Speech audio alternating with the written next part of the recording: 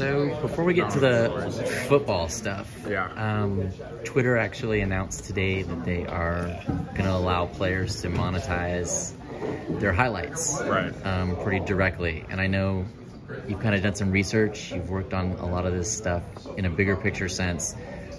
Where do you see things going in terms of NIL, and kind of where do you think it should go?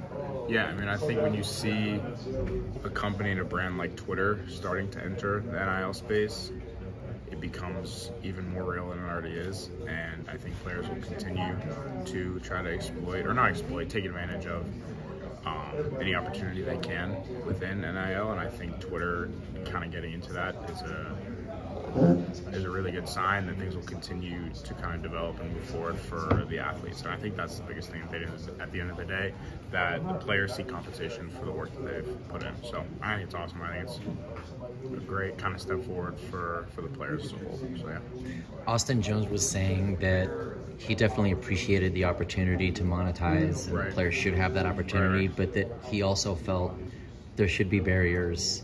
There should be a difference between professional football players and amateurs. Right. And just where do you come out on that in terms of how far should it go? How, how, how much are the players entitled to in your mind? Yeah, I mean, Austin's obviously a Stanford kid, so um, I tend to agree with him on a lot of stuff, and I think I agree with him in this sense. I think players were restricted so much from being able to capitalize on their name, image, and likeness, or however you want to phrase it, um, within college football and college sports as a whole, that once it became legal, it kind of blew up exponentially, and I think we're seeing things that nobody necessarily anticipated with I mean, you don't know what's true and what's not, but like high, high school kids getting millions of dollars and whatever is, how appropriate or not appropriate that may or not, may or may not be is kind of up for you to decide. But um, I think there will be some regulation on it at some point, and I do think there should be a distinction between college and pro sports. But I do think that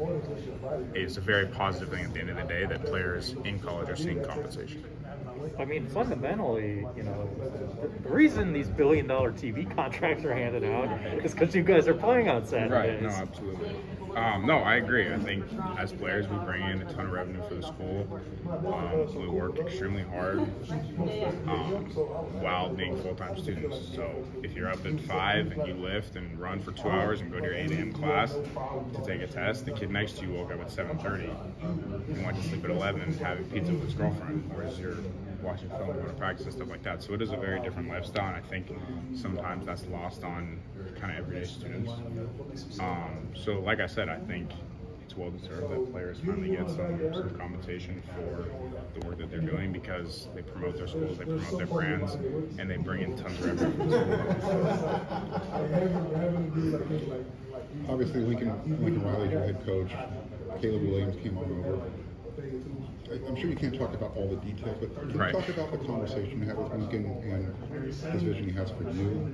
in terms of when he came in or yeah um i mean i didn't know coach riley very well when he came in um, and the few conversations that i had with him when he arrived on campus were very positive. Um, obviously in order to form a full opinion on someone you need a certain amount of time building a relationship with them and working with them and i think the conversations we had at spring at the end of spring were much more meaningful because we had time to accumulate like that relationship and work together um, yeah, I mean, I can't like speak on private conversations with me and Coach Riley, but my relationship with him has been super positive, and I think me and Caleb have a mutual understanding that within like as long as we have a positive relationship, it only benefits the team. So, um, yeah, I have super positive relationships with both of them. Kyle Ford kind of talked about with him and Chiron having kind of a similar experience of Yeah.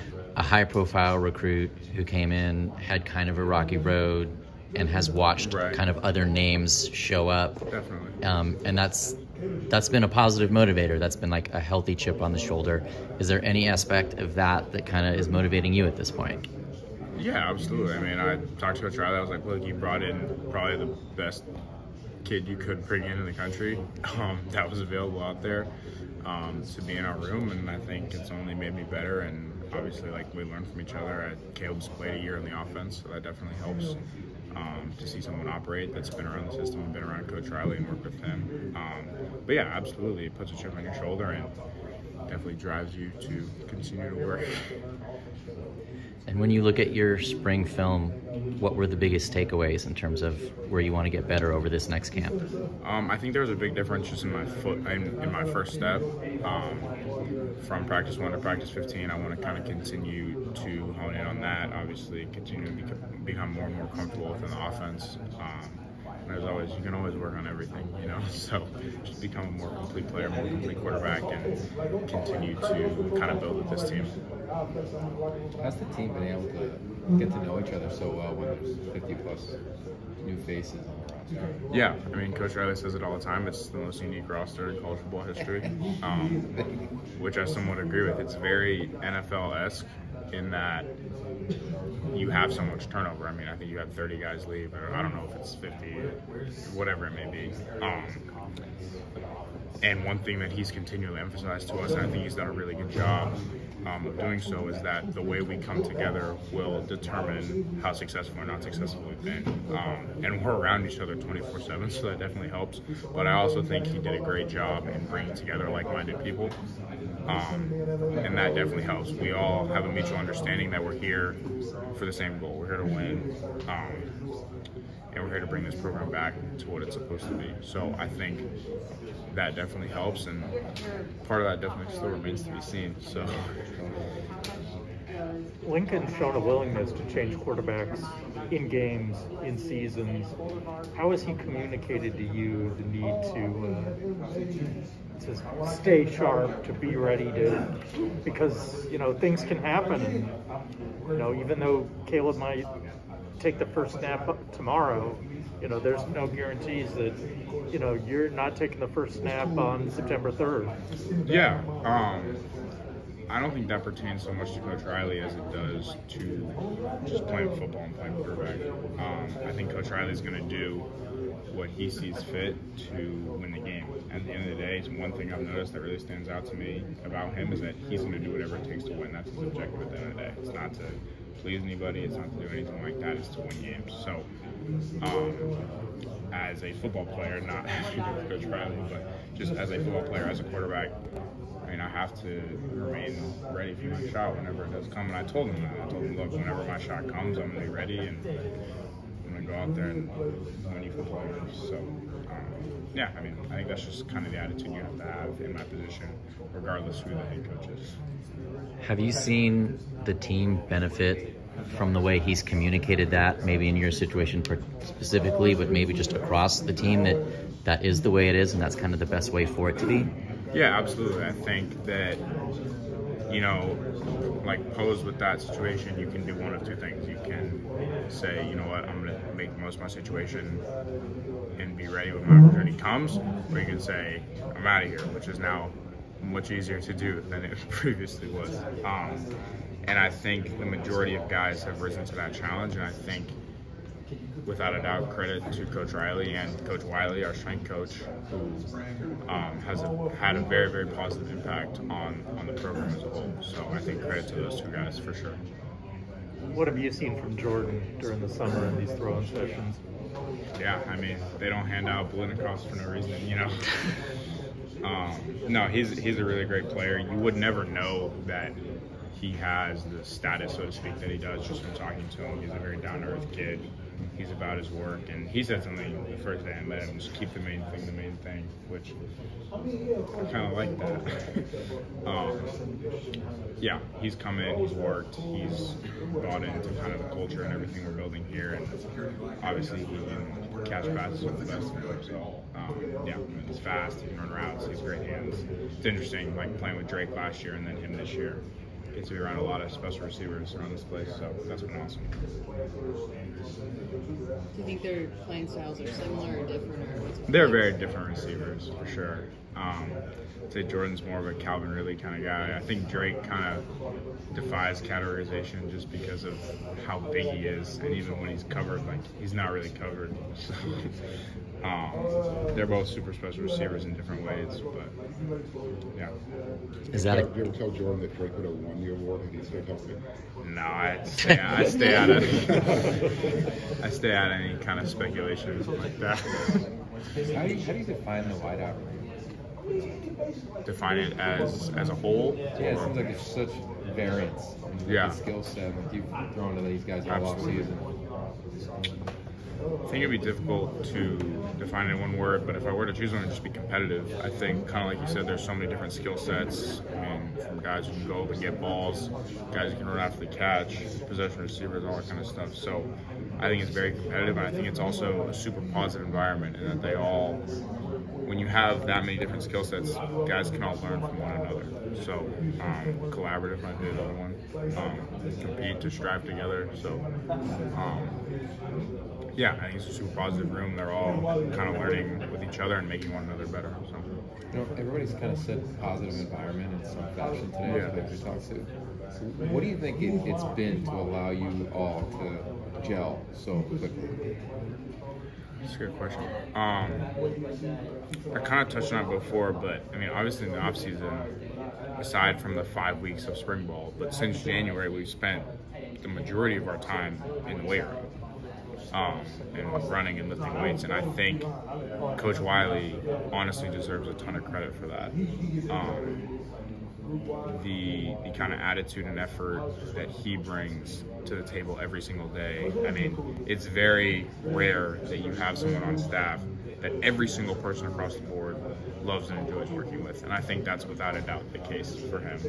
Um, and I think he's done a really, really phenomenal job in building culture and changing a lot of dudes' kind of outlook on how they approach their work, how they approach their career as a whole. So I give them a ton of credit. Yeah, I think like you can come into this program easily and be like, all right, I'm gonna go get mine, and then bring it out. Right, right. And it's a very individualistic thought. Definitely. Would you say that like you don't have to comment if it was or wasn't that before, but now it, does it seem like it's a, a collective thought?